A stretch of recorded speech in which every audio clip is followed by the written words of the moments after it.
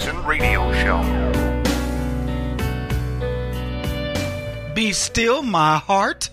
This next story is hysterical on so many levels. We're going to spend a little time talking about this story. Yeah. See, what it as it turns out. By the way, welcome to the Kevin Jackson Show. we got to do a little housekeeping. If you want to call the show, 844 551 8255. You can get this show on demand anytime you want. And I promise you, this segment, you're going to want to get on demand. It, just go to kjradio.com. Look, a firefighter who's new, he just got out of firefighting school. He gets assigned in Detroit to a firefighting, you know, location, a firehouse. And they, every year, I mean, when you're a new guy, you got your, it's not a requirement, but you can, uh, you know, they want you to bring a gift to the fire station. So this white dude decides he's going to bring a watermelon with a, a little bow on it. And all hell breaks loose. So I'm going to let you listen to the clip and then we got to dissect this. This is a funny story. Check it out. A firefighter new to the job makes a major faux pas while getting to know his new colleagues. What he says was a gesture of goodwill was not received that way at all. Fox 2's Taryn Asher here now to explain why some people were so offended. Taryn. Well, Robert Pattison had just completed the firefighter training academy. He was set to work at Detroit's Engine 55. He says he brought a watermelon with a pink bow to introduce himself to the crew as a nice gesture. But it certainly wasn't taken that way fired before he officially started. Last Monday, 41 year old Robert Pattison went to introduce himself to his fellow firefighters at Engine 55 at Joy and Southfield in Detroit. 2nd Battalion Chief Sean McCarty calls it a tradition for firefighters. It's not mandatory, it's voluntary.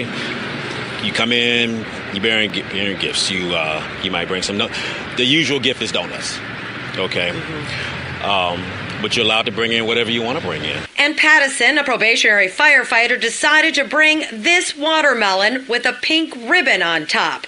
We're told some African American firefighters were instantly offended since 90% of the people who work at Engine 55 are black. When you get your first detail to a firehouse, you you know um, pretty much what you're getting yourself into. So I would have to say, you know, it, it was probably a bad call. Is it racially insensitive to bring a watermelon into a to firehouse? Some peeps, to some people. I spoke to Pattison by phone, who claims it was not a joke and he did not mean to offend his fellow firefighters. But he clearly did. Fire Commissioner Eric Jones says the Fenton native was officially discharged. Welcome back, everybody. Kevin Jackson here. Be still my heart. Firefighter brings me some watermelon. I, I'm just like, hey, way to go. Way to go. Look, let me tell you, this is, you know why this cracks me up? Because when I was in uh, electronics, uh, I had a, a rep firm, and distributors would want you to come by periodically and say hello. And it became the standard practice to go by and bring a couple of boxes of donuts, and, you know, people would, hey, thanks, Kevin, good to see you. You know, you chit chat a little bit. Well, suddenly that became that was no longer in vogue to do that because we got on this health kick. So everybody stopped bringing uh, donuts and they started bringing fruits, fruit baskets, and and it was generally these uh, what they call it like edible arrangements kind of thing. Or if somebody got like you wanted to reward someone, you would no longer send a bottle of wine or you wouldn't send a cookie thing or whatever. You would you know you would send uh, edible fruits which I happen to really enjoy. I think they're very cool things to uh, to have people check out. So, in fact, ironically, I got an edible fruit basket yesterday because I did a radio hit for a show and they loved it. So the lady called me up and says, "Kevin, we want to send you a gift." And I was like, "Okay, whatever." So I give them my address. They send me an edible fruit thing. And um, so, but the funny thing about it was with the edible fruits, it's got cantaloupe and kiwi and yeah, it looks like a flower arrangement. They've cut the fruit in these strange things, and of course, it had watermelon. And I was immediately offended that there wasn't more watermelon. Are you kidding me? Anyway, this story cracks me up on so many levels. How do you fire someone for bringing watermelon to your workplace? If the water, look, and let me put it, if the watermelon had been sliced and diced, would they have fired him? I don't think so. If he was a black dude who brought the watermelon to the fire station, would they have fired him? I don't believe so. Why are we firing people over watermelon? First day of work shows up with a gift and it's a watermelon in there. Well, people was offended. Really? The, here's what the uh, the fire commissioner Eric Jones said: there is zero tolerance for discriminatory behavior inside the Detroit Fire Department. Okay, I'm with you. Good. So what's this got to do with the watermelon? Unbelievable. And, and here's what he continues with.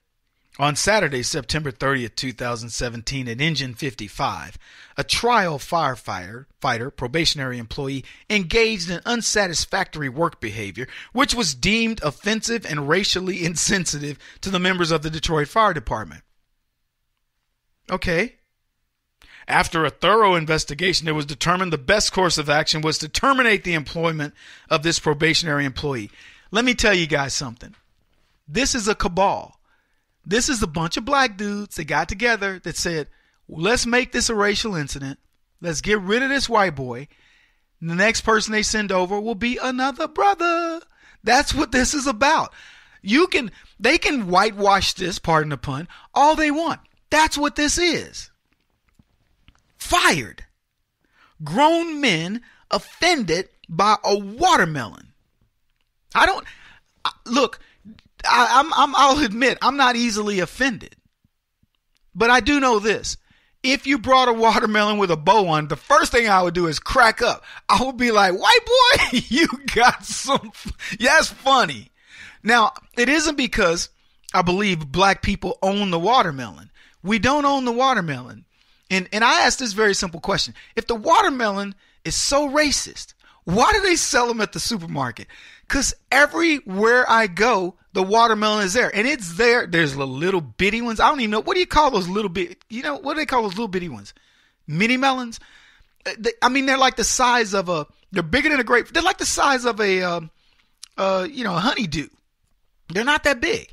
And to be honest with you, I don't buy them because I don't think there's enough inside of, and they're not, they're not cheap. Little suckers are at least half the price of a full watermelon and they're a third. So I'm looking at the value going, uh-uh, this brother knows how to pick a watermelon and I'm going to pick a big one. I'm not taking one of these little bitty melons. I went to melon school. yeah. so anyway, why would, how can you sell such a racist? I, that's like the Confederate flag, isn't it? Is it the new Confederate flag is the watermelon? I'm telling you, I cannot believe that we are discussing this at this day and time. I mean, uh, can white people can white people buy watermelons? Can white people eat watermelons? If people were offended, is really firing the dude a course of action? I mean, there's so many questions that beg. God, I'm, I'm this is one of the most interesting stories on so many levels. Because here's the deal. First of all, black folks do not own the watermelon. Because if I knew this, I would go into a grocery store about, I don't know, once every week. And I'd just go in there, grab me a watermelon, and walk out. I just would and dare somebody to stop me. Moreover, if I saw white people buying a watermelon, I would accuse them of being slave, slave owners. I would go, oh, I see. You're buying a watermelon.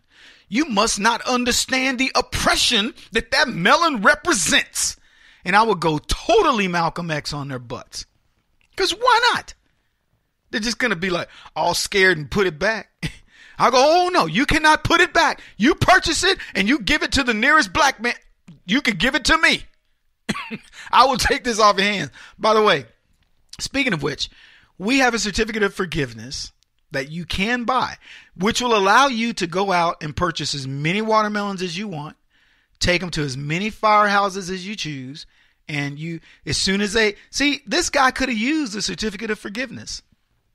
Part, his name is uh Patterson.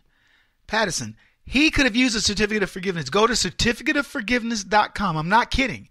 People think this is a gag gift. It's not a gag gift. It will exonerate you from your race Anybody accusing you of being a racist, go to certificateofforgiveness.com and get it.